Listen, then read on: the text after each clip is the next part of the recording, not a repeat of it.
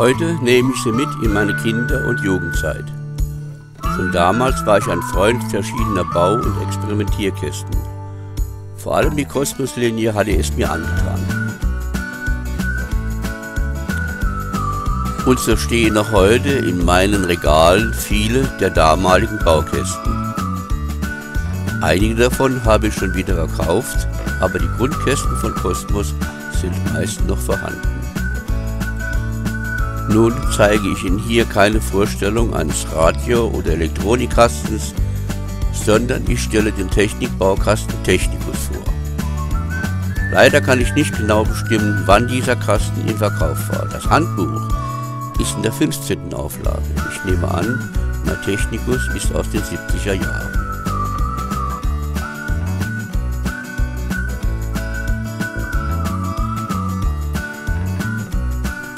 Und gleich schlage ich die letzten Seiten im Handbuch auf.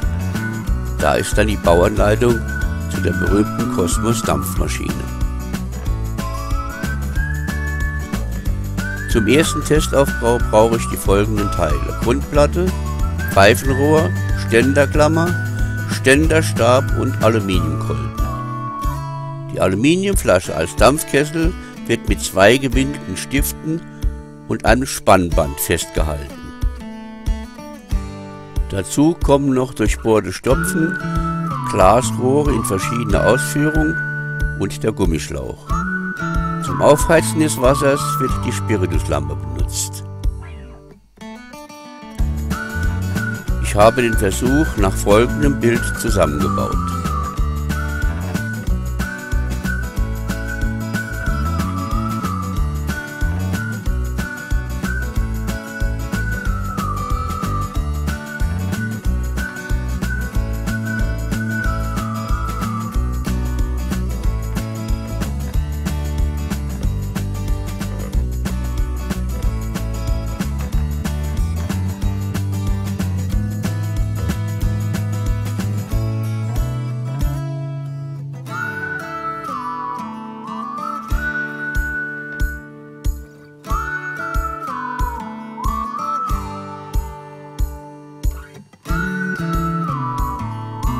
Bei diesem ersten Versuch muss man darauf achten, dass die mittleren Bohrungen im Stopfen von den Glasröhrchen abgedichtet werden.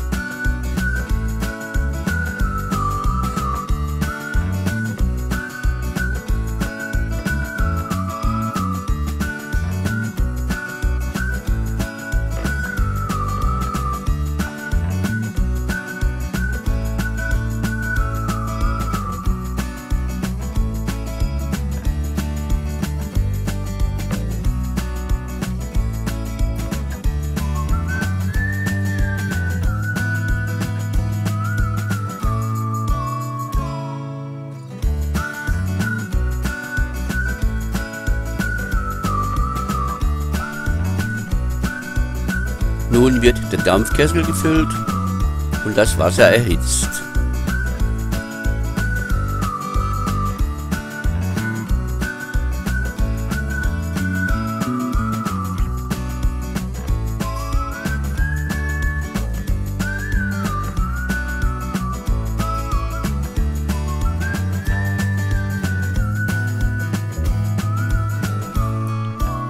Durch Öffnen und Schließen des Ablassschlauchs lässt sich der Kolben im Zylinder bewegen.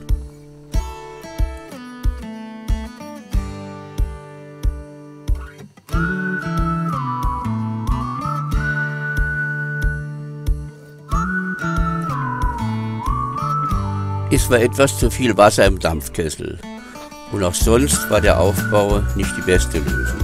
Der Ständerstab bewegte sich in der Bodenplatte der Dampfschlauch hinderte den Kolben am richtigen Aufsteigen.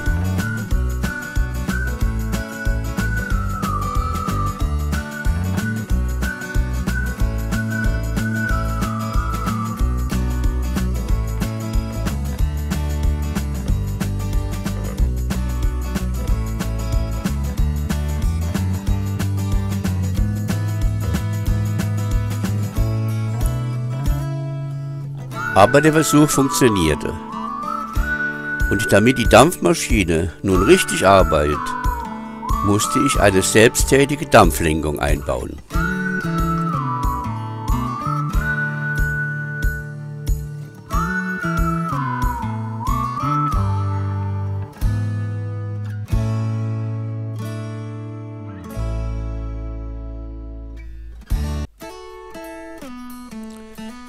Diese Dampflenkung ist im Handbuch sehr gut beschrieben und durch eine klare Zeichnung erläutert.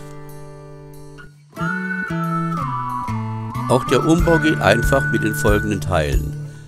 Eine Metallscheibe mit einer Schnurrille, die Dampfmaschinenwelle mit dem Lager, dem Bügel und einer großen Rolle als Schwungscheibe.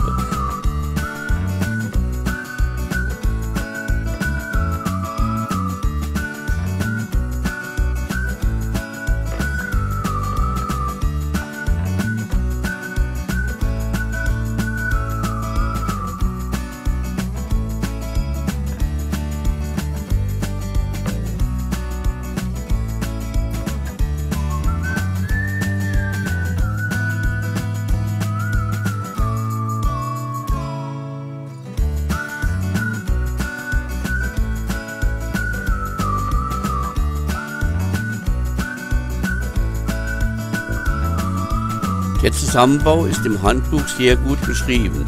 Aufpassen muss man nur, dass die Abflachung am Lager genau in die Nut an der Metallscheibe passt.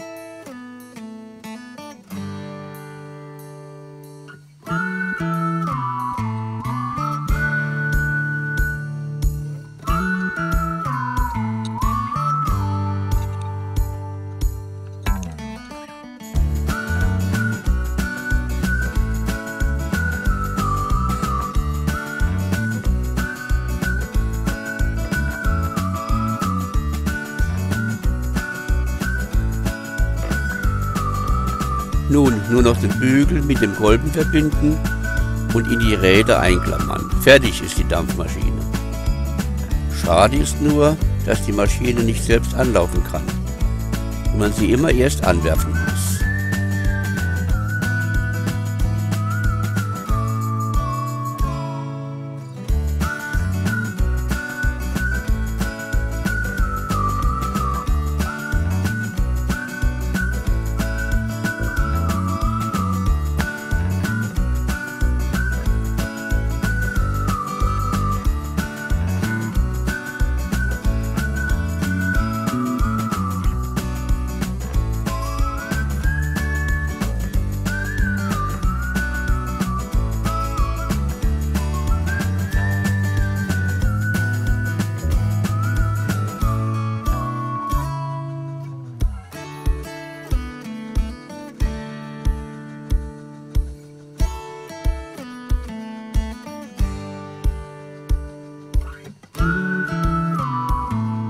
Meine Dampfmaschine läuft nun wie eine Dampfmaschine.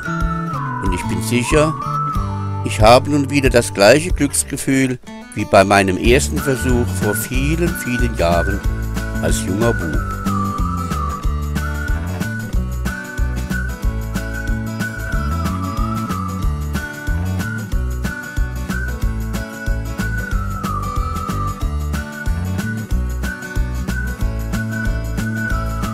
Bedanke mich fürs Zuschauen. Wenn Ihnen der Beitrag gefallen hat, dann abonnieren Sie doch einfach meinen Kanal oder geben mir einen Daumen hoch. Tschüss und Salü aus dem Saarland.